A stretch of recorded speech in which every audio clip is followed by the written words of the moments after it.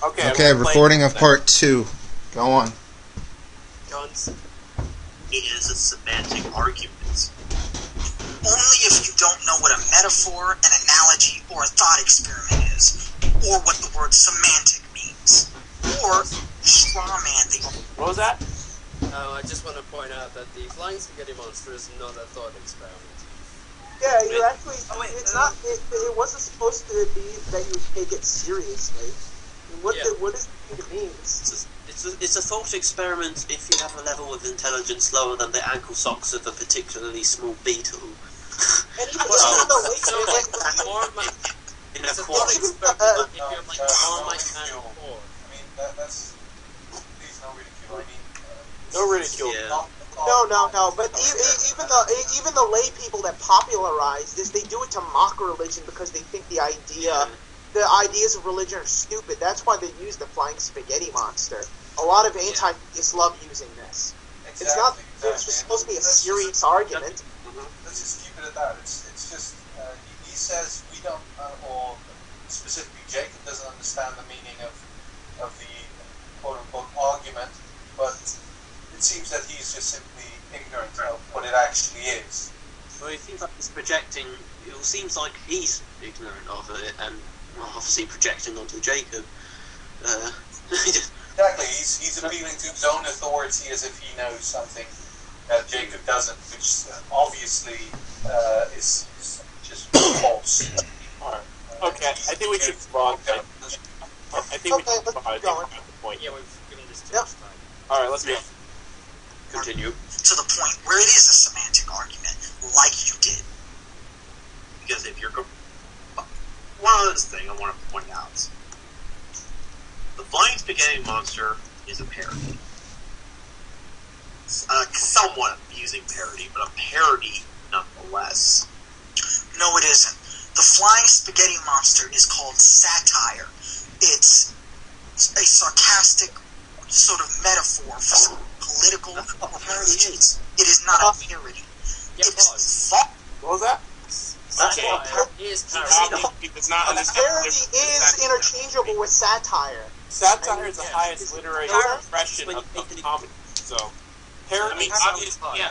What I would parody type of satire. So, Well, parody is where you take an exaggerated form of something to satirize it. What I was saying- like, what I was saying to Jacob last night about this, we were talking about that, is that um, I mean, you, if, if this guy doesn't know the difference between satire and a parody. I mean, you, you, you look at um, a Mel Brooks movie. You know, it's mo- it's most certainly uh, satire, but it's satire done as parody. hmm. I mean, good lord. all You can use basically you can use parody to satirize, like how um, Stewart Lee's. Uh, um, oh, sorry, I'm trying to. I've, I've, I've tongue tied. How Stewart Lee takes uh, an exaggerated form of the rhetoric and implied values of Top Gear to satirize the rhetoric and implied values of Top Gear. Right. That's so you use parody as a tool to satirize. Uh, uh, that's All right. Um, anyone want to make one last statement before we move on? It's a shame to have to have to.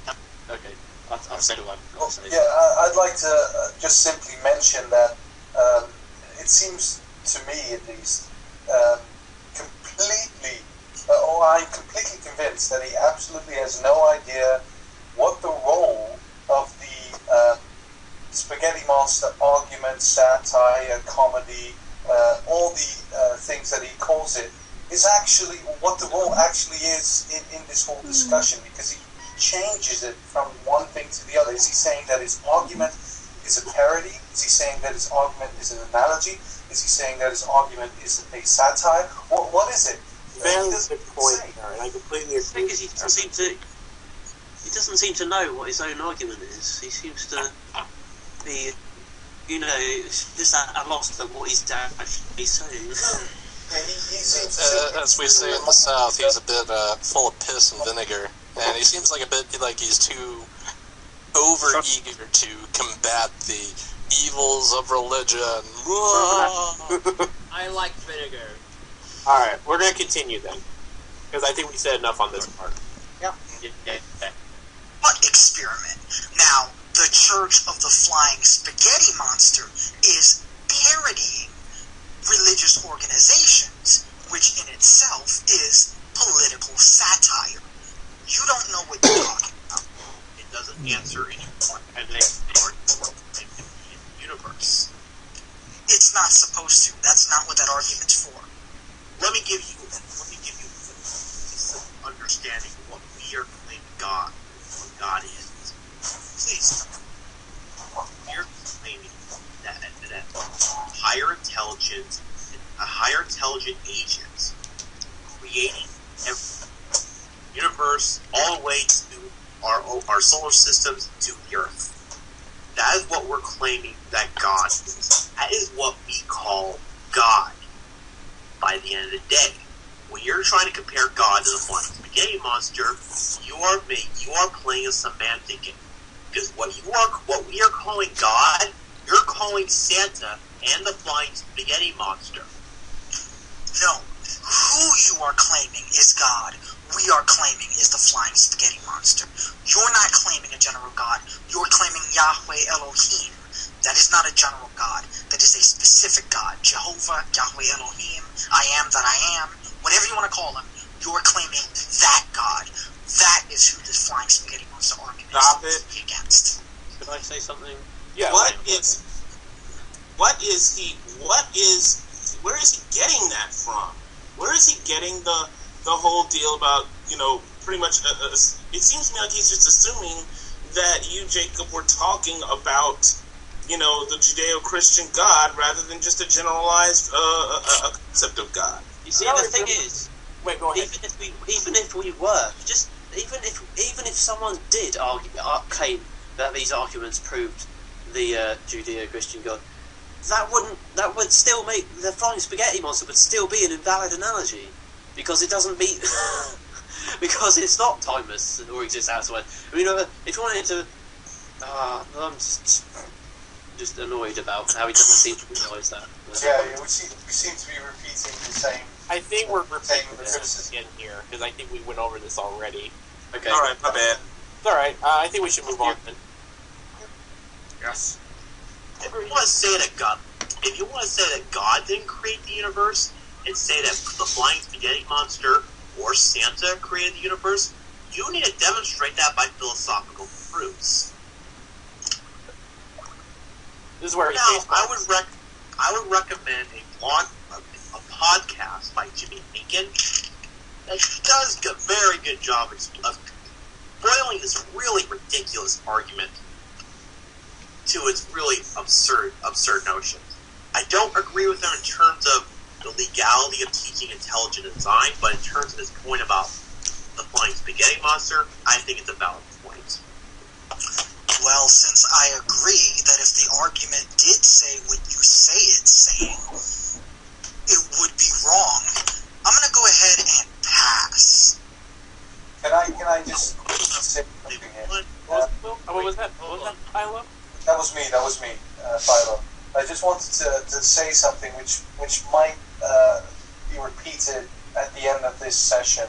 Anyway, um, is that he he wants to, a- as I mentioned before, he seems to want to continue the argument, but it, it's it's quite pointless, as most of you theists uh, and maybe even atheists here would agree with me, to continue uh, onto the fine points of theology or attributes of God if one doesn't even accept that there is a God. And simply saying, you know, I agree, let's let's move on, there is a God, but still maintaining the uh, idea of there is no God while in the argument saying, okay, I grant you that, is not going to get you anywhere because you not you don't have Delete it. get in that position and understand the uh, continuation of the argument. Because in your mind, you still, that God doesn't exist, that God doesn't exist. So it's quite pointless.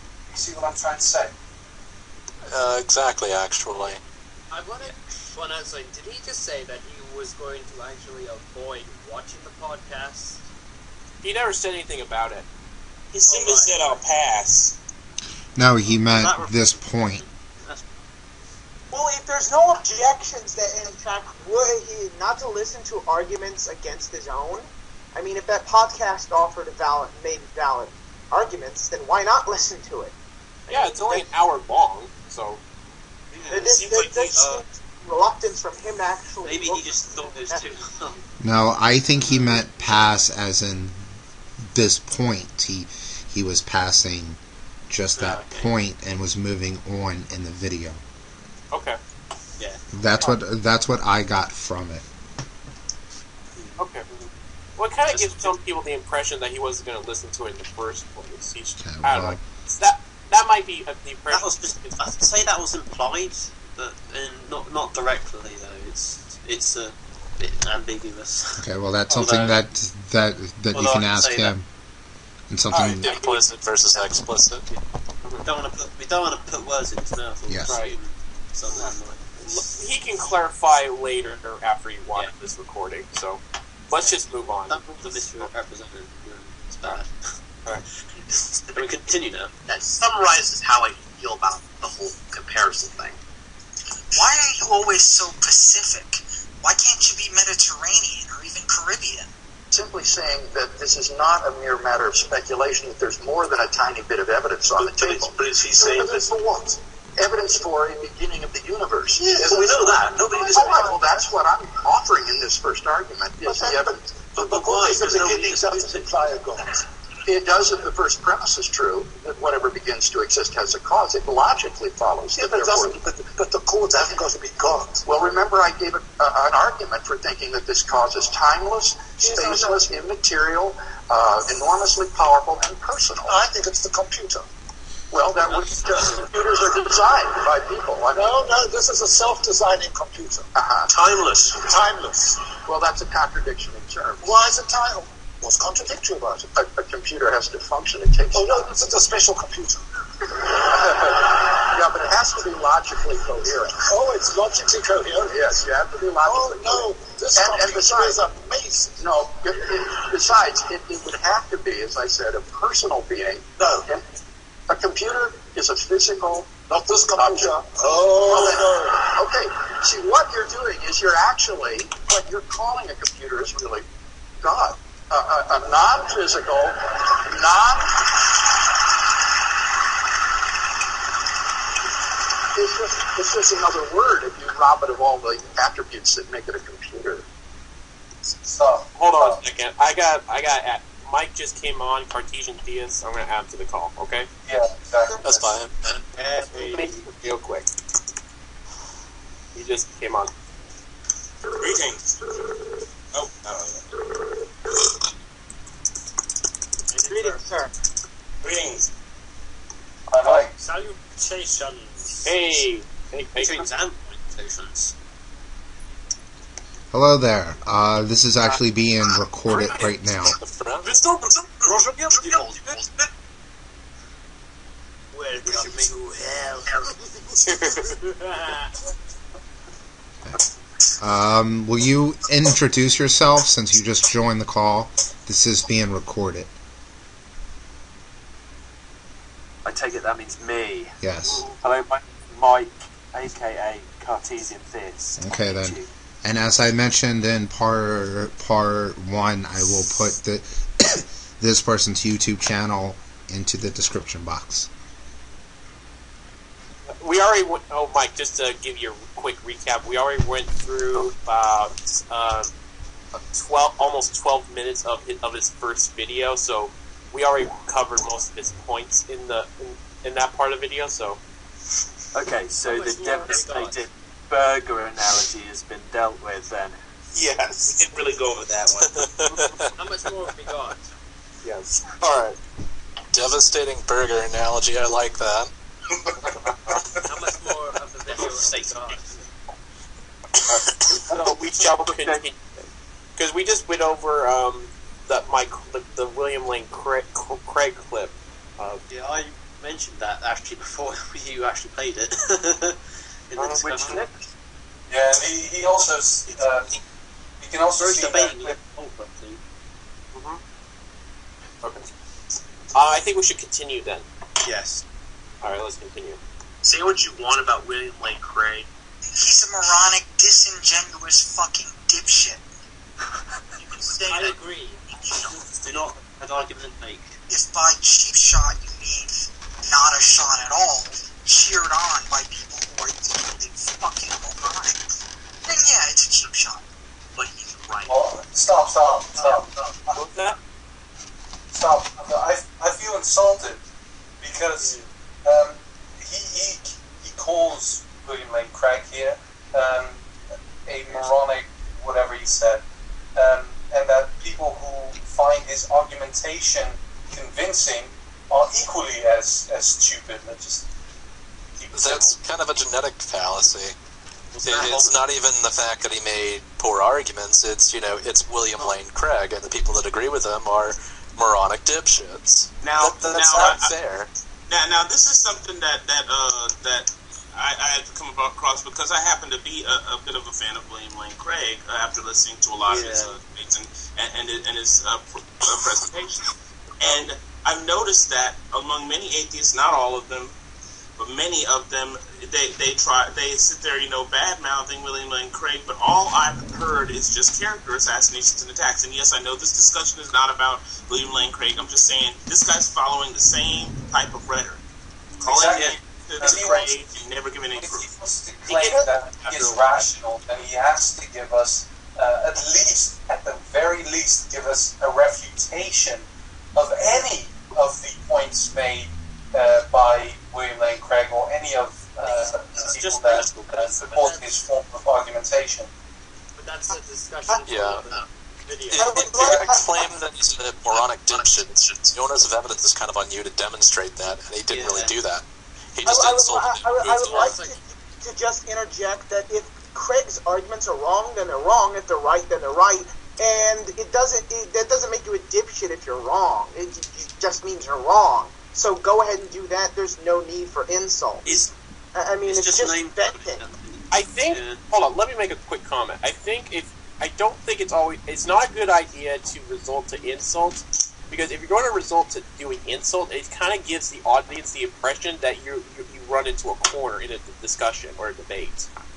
Well, not, not always. I mean, uh, Not always, of course, but you, if you didn't find it convincing. Um, it's a show of, um, I would, I would think, um, play on bullying. Uh, people are afraid of you and uh, think highly of you because you dare to make fun of this uh, this person. But it seems that uh, the whole start of this this e- episode with, with Esplin started when he said that atheists have the domain of, of rationality, and what, what he actually means with that is, is completely. Um, I'm completely ignorant on the fact, but he uh, he doesn't even. I, I have not heard any sound or even a good argument. Well, that's the same thing. I mean, I have not seen an argument from him uh, at all, really. Not, not anything that I could consider as an argument. I actually brought up the argument to him in the comments section of uh, one of his It's videos. Uh, it's like uh, if two atheists fight amongst each other and the atheists have the moral high ground, you know, if they're fighting amongst themselves, then who has the moral high ground in that case? For example, this whole race issue that came up with Hey Ruka and everybody else. Between me and who, Hey Ruka, who has the moral or the uh, intellectual high ground? And uh, he was like, "Well, it's the person that's not the racist who's using reason and logic." And I was like, yeah, but she's also using her reason and logic. It's flawed, but you don't really address that.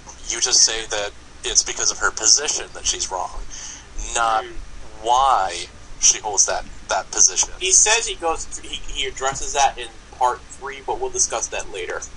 So All Well, he, he just seems to be using insults and name calling in lieu of content and wit. Mm-hmm. Which was exactly, exactly what I Yeah, I think, I think honestly, I think we've spent too much time on this, and Let- if, if we want to actually, and if Start to he wants to discuss this, we should leave it for another video. let's move let's move on from this part because I think we've spent little too much time on this part. Just point out Yes. that add-ons are not acceptable substitutes for actual Yeah, let's- Let's move on. This is we're taking too much time here. be 100% right there. No, he isn't. If you're going to compare God to, like, say, Santa Claus or the like Spaghetti Monster, Okay. You're Pause it for a moment. You're going to What's that? Pause it. All right. He he did a cut a cut in when you said that Wayne like Cray was 100 percent right. He did a cut in saying, "No, he's not," and then cut back to your video. That's I- a fair assertion. That proves Okay. the previous point that we made. Yes. And this is another, Yes, that he this should- is yet another problem I have. This is this is yet another problem I have uh, with Esplin. This is it's something that's prevalent throughout all his videos. He makes these assertions, pretty much just "I'm right, you're wrong" assertions, and just moves on. Doesn't ever explain how or why he's right. Well, I to mean- be, well, well, hold on. To be fair, he did say last night he doesn't claim that he's always right. He's not claiming that he's right about, about a specific position. He's just saying that he's just saying that this argument's wrong, wrong, wrong, wrong, and all this stuff. But I get what you're saying. It's like he's just making. Well, I- It, it, it's just I admitting with him in like in the assertion that you know William Lane Craig is not hundred percent right in that video because I doubt the Kalam cosmological argument. That's like another. But again, we don't want to go into that. We're not. We weren't even discussing the Kalam in that video. Yep. Yeah. I, I would say that it's just assertion fallacy to, to assert these things as if they're brute facts. That I mean, I, as if we, as if, as if others agree with them. I'm sure there are, are people that agree with them, but there are people that don't agree with them. So don't assert this as if it's a brute fact that we all have to bow down to. Are you Mhm. kidding me? All right. I think we should move on. lanes and, and pretty much deriving the meaning behind the word God and the meaning behind the word blind spaghetti monster. The point of the argument is actually the point you're making. It's to show you that all you have is that it is timeless and that um it needs to be powerful enough to create the universe. That is all. That is why I do not take comparisons of God of, say, Santa or the blind spaghetti monster or the tooth fairy. I consider it intellectual laziness. The reason you do not take comparisons of God to the uh, flying spaghetti monster is not because we are intellectually lazy. It's because you are intellectually unsophisticated. Okay. Now, Stop it. Stop it. Stop it.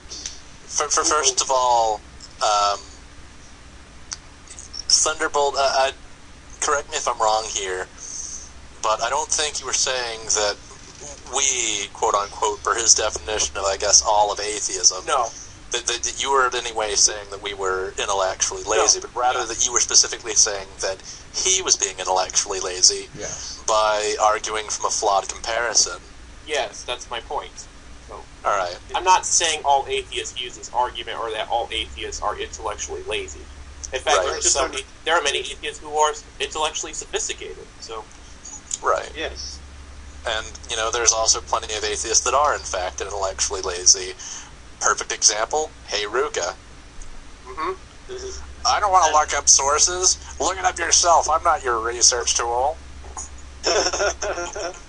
Right. Because he just made a bare assertion there, just accused me of being intellectually unsophisticated, substantiating that. Yeah, that, that's that's not the first insult that, that he made in this, this um, whole thing, but we, we can comment on that all. All right. Um, I think we should move on then.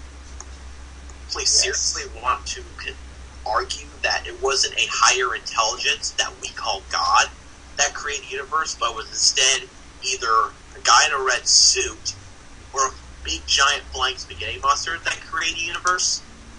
You have to demonstrate that's the case, and, and that wasn't a God that created the universe, but instead was either Santa Claus or the flying spaghetti monster. Good luck with that. I will admit right there that was a rhetorical joke, and so, but he did take it. Hold on, let's continue.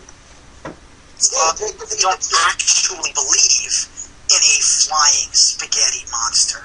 Hence, satire or thought experiment, if you want to go back to the first one. We don't have to show shit. You have to show why this all powerful entity that created the universe is specifically Yahweh Elohim. That is the point. Your arguments at best get you to deism. Deism. You're using special pleading to jump the gap from deism to veganism.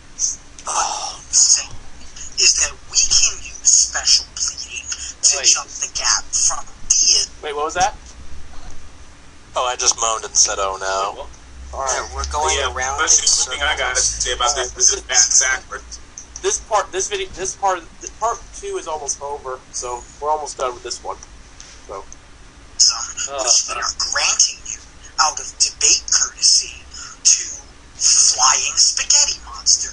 Just as you seem to not have the capacity to show that Yahweh Elohim is the God that created everything, we don't have the capacity or the desire to show that the flying spaghetti monster is the creator of the universe.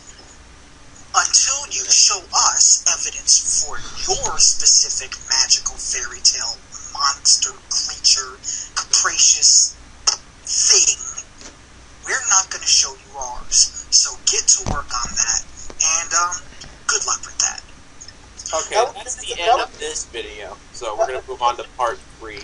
Actually, Just let's see. a- let's comment on that, Just to make the comment on that, I can't.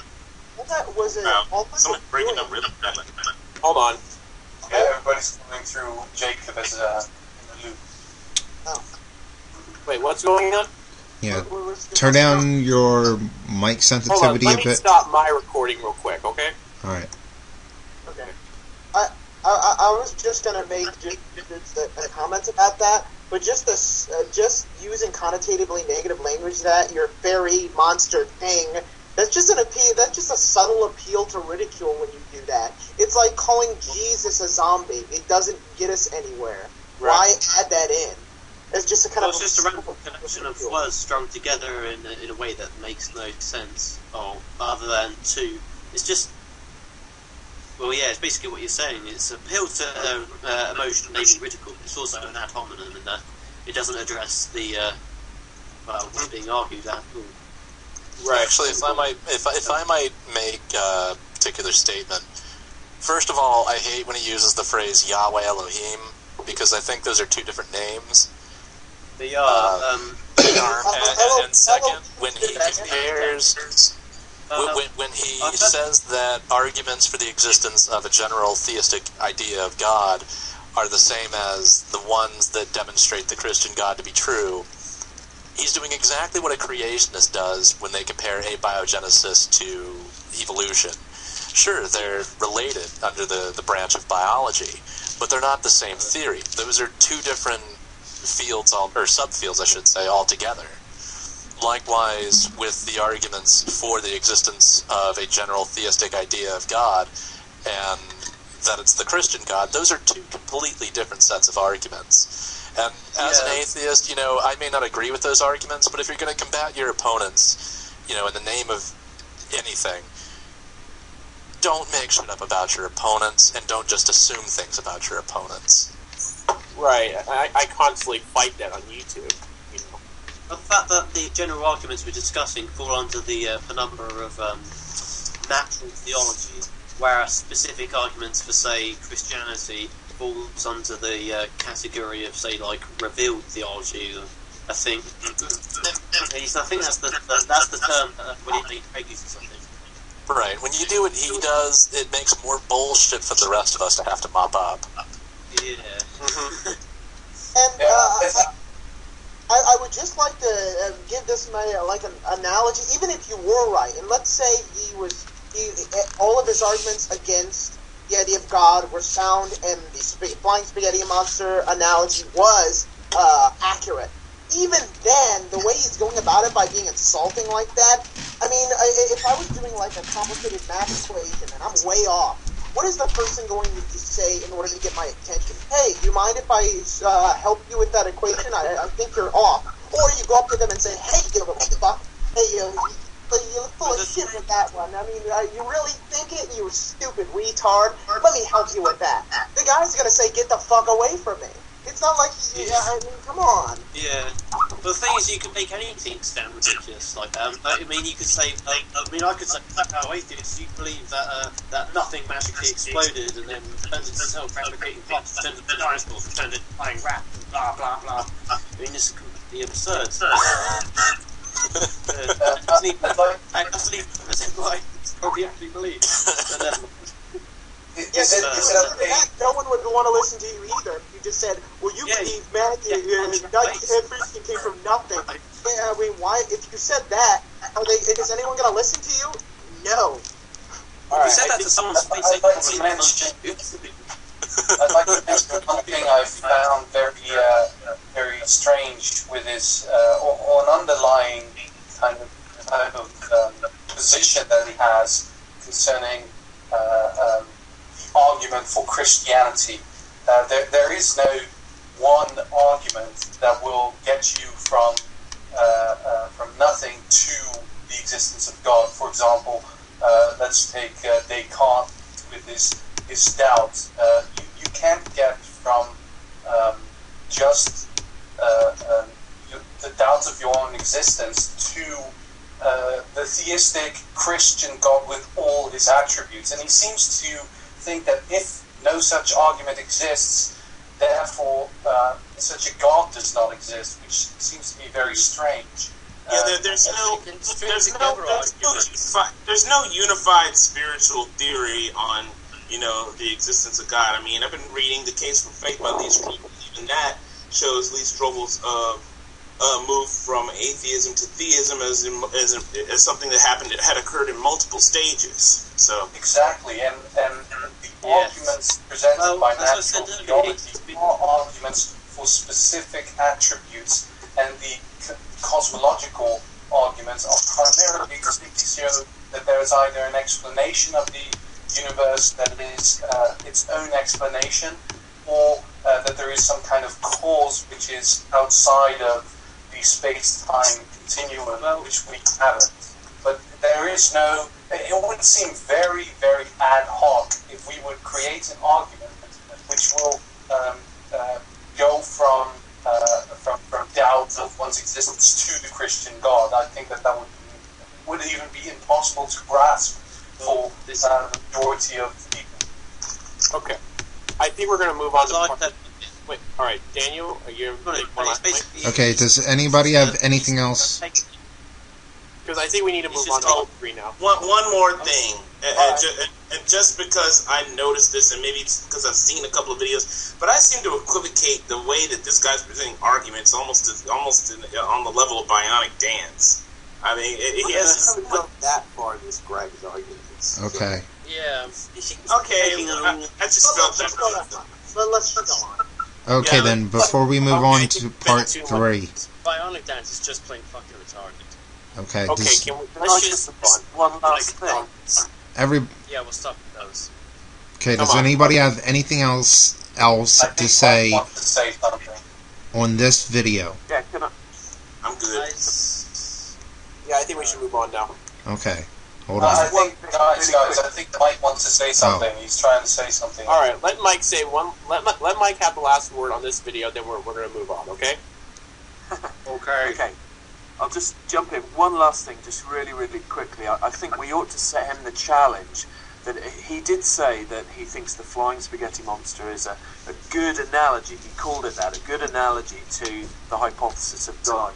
So the challenge that he needs to be set is that if it is a good analogy, then he has to prove it's not a category error. Hold he on. has to show that it's an equal footing. And Hold on.